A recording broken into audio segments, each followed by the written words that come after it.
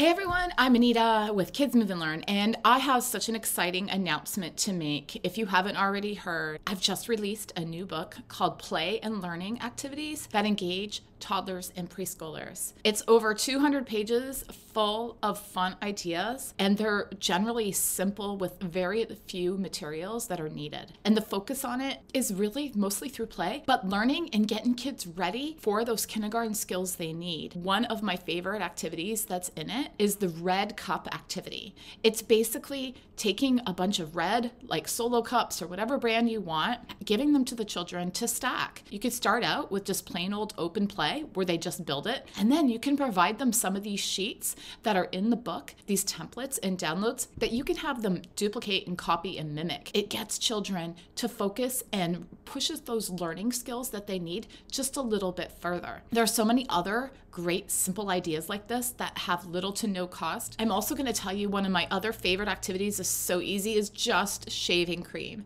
It actually will end up cleaning your table and you can get a lot of learning and activities out of it. So the book has some ideas on how to use shaving cream to support math and counting and shapes and drawing and all those kinds of things and also writing skills because what happens is it gives kids those experiences to use your fingers to be intentionally making marks and drawing so that later on when they're a little bit older and have the skills in their fingers, they can start to do the writing with crayons and pencils and things like that. Don't forget, check it out. There's so many other ideas in this book. If you've tried one of them and you want to hit below in your comments what's your favorite one, let me know. Thanks, everyone. So check it all out. Go to kidsmoveandlearn.com. Don't forget to hit that like and subscribe button for more ideas.